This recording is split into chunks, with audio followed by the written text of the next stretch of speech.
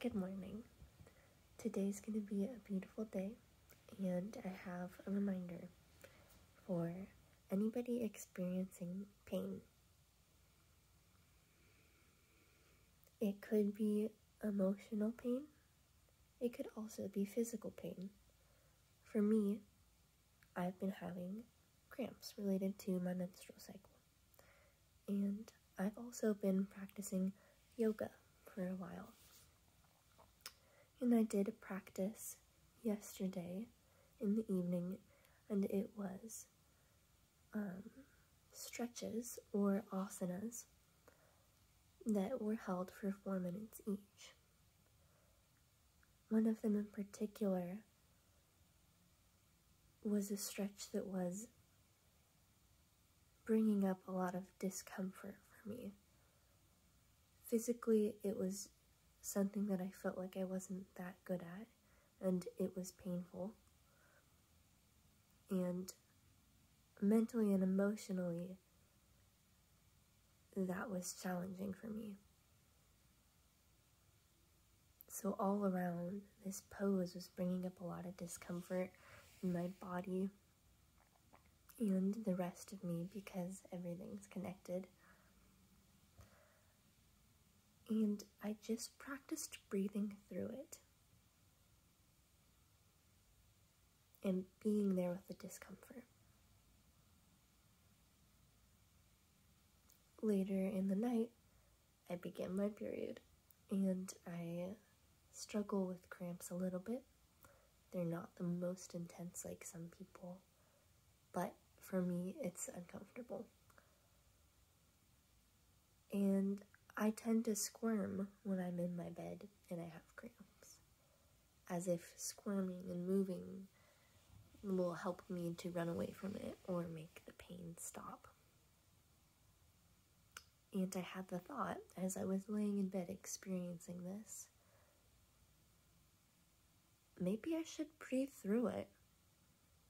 So I lie still, deep breaths, and was present with the pain and just leaned into that sensation and experiencing it.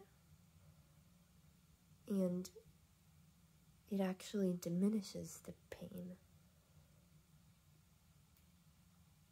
as I perceive it. It felt okay and tolerable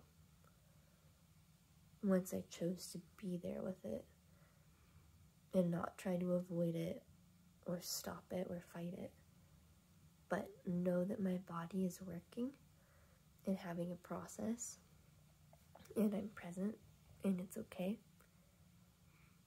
Many things are uncomfortable and it's okay. That said, if you've never tried yoga before and you're interested, be it for physical health or healing, I encourage you to try it. And I think that the the motivation that draws me is to be connected to myself, to my body, to my environment, and yeah, the world around me. So I encourage you to try something like that. And when you experience pain, stop and breathe through it. Through it.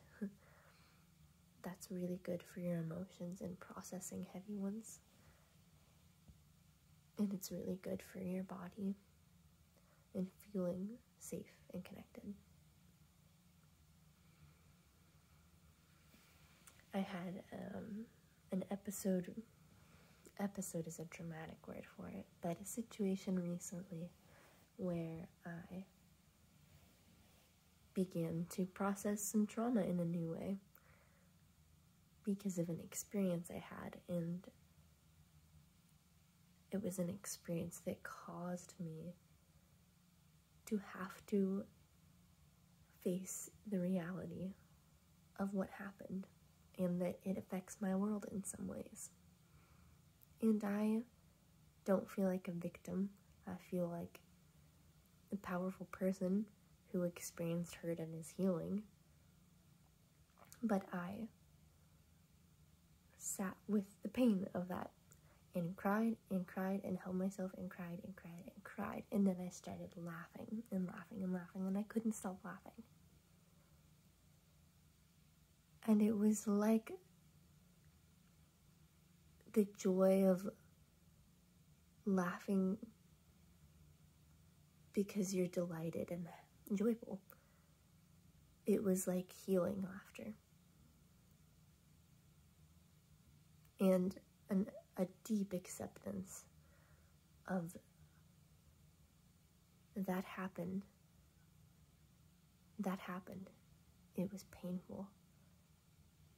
I'm completely open to the truth that that was part of my experience. And I'm completely open to being completely well and whole and healed now. So when you breathe through the pain and stay present with the pain and don't run away, it does such good things for you. And that's what I wanted to speak about. So if you're watching this, breathe through the pain.